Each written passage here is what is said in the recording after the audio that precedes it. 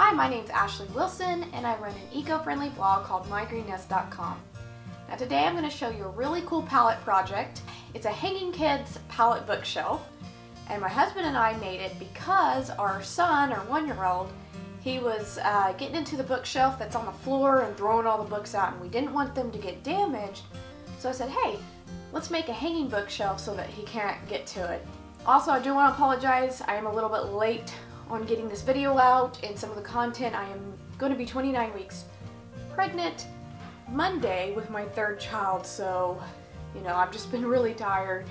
But I love the idea of pallet projects because you're upcycling something that's old and making it into something new, and I find that to be a bit more eco-friendly. Since we're brand new to woodworking, this is only our second woodworking project, we did make some mistakes, and I will tell you about them as I document this video, but we're going to step you through everything really easy so you can make this exact bookshelf. Now, as a disclaimer, I do want you to know that we're not professionals. Make sure you're following the directions for your specific manual or power tool that you're using. Alright, enough about that, let's go ahead and get to the video. I was lucky enough to find some free pallet wood from my parents' farm. We picked out the two best pallets that we could find for this project. Now you can get one to two shelves out of one pallet depending on how good your wood is and if you don't mess up too many times. Before we started working on the pallet, we had to remove these two boards on each end. Then we could cut straight down with a simple jigsaw that we got for around 25 or 30 bucks. I'll place the links in the description below for all the materials that we used in this video for the pallet shelf. My hubby used a crowbar and a mallet to remove the boards, and it was pretty easy to remove it from the edges, but the middle nails were not budging and our wood started splitting. That was kind of a bummer, but we continued until it was ready to cut. We used some chalk and marked where we would cut by using our level as a guide. Before using any power tools, it is important to use the proper safety gear, such as goggles and a dust mask. Now this was my husband's first time using the jigsaw and he did quite well. And I sat there in my comfy rocking chair adding moral support. Now this part was pretty easy and the wood came apart like a charm. After cutting out our shelves, I quickly realized that our shelves were a little bit too long, so we decided to cut one end off of each pallet shelf. We grabbed our level and I marked a straight line for my hubby to follow with the jigsaw, and I made two darker lines on the starting and the ending spot for him to follow.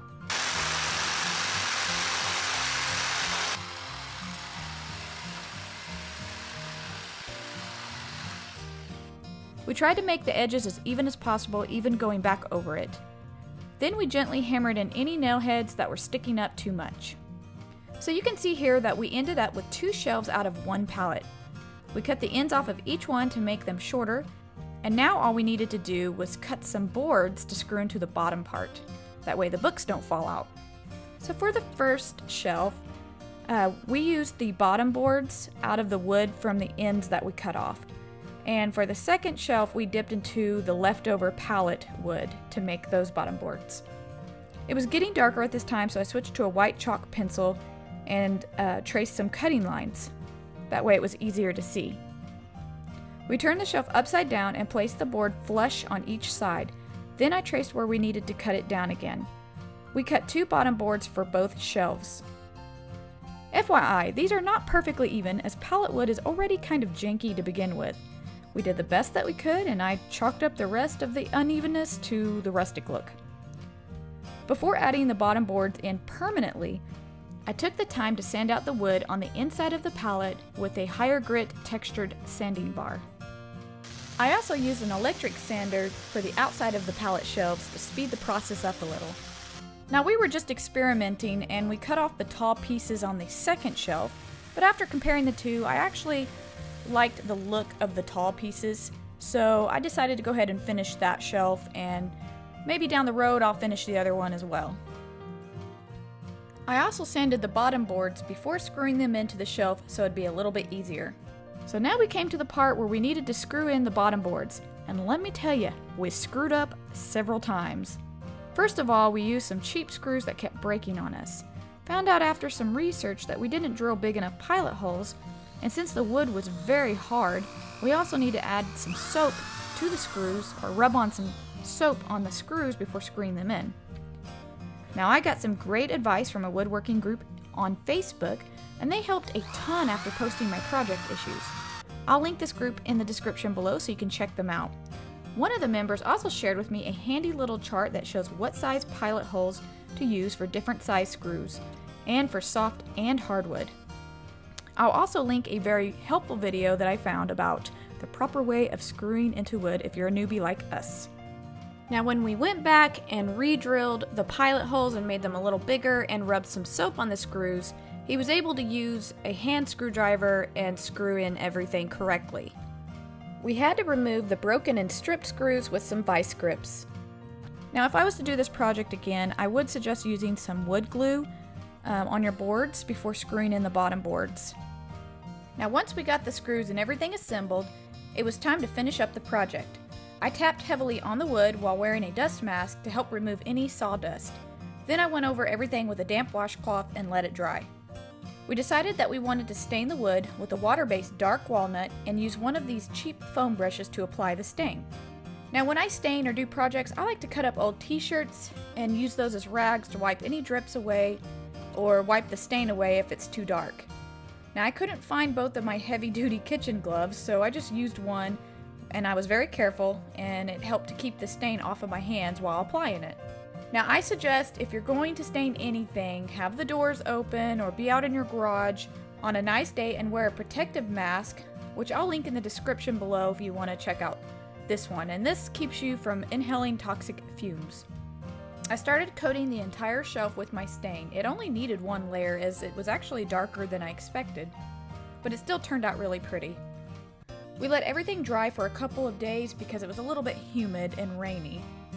Now after staining, you can pretty much stop here and hang it up if you want, but I decided I wanted to make my piece a little more unique and paint on some text with a paint marker. I just typed in the text story time with a font that I liked on an app called Font Candy and I freehand copied it onto the board with a white charcoal pencil while looking at my phone. And this allowed me, if I made any mistakes, I could wipe it away with a wet rag. Once I got it the way I liked, I filled it in with this exact paint marker that I got from Hobby Lobby. I used a little piece of paper to get the paint marker going, just slowly filled it in, and I was very careful on this part. Now, if you're not good at freehanding, Feel free to have an artist friend do this part for you, or you can use a stencil or even copy it on with carbon paper. My best friend does the carbon paper method for all of her projects, and her text turns out really well.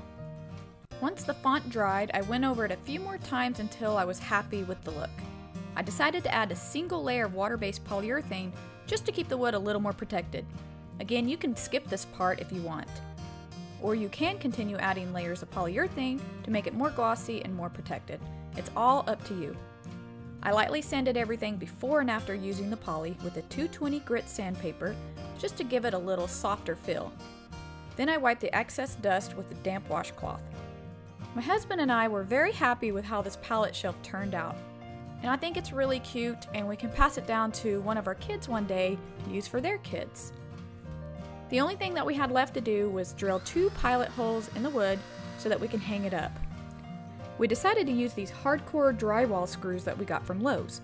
We checked our wall for studs, but there were none where we were trying to hang this piece up. So that's why we had to go with the drywall screws. My husband and I finally got it mounted onto the wall and we really loved it. What do you guys think? If you like this video, please give it a thumbs up. I'm going to be doing more DIY stuff in the future. And I hope to catch you guys in the next video.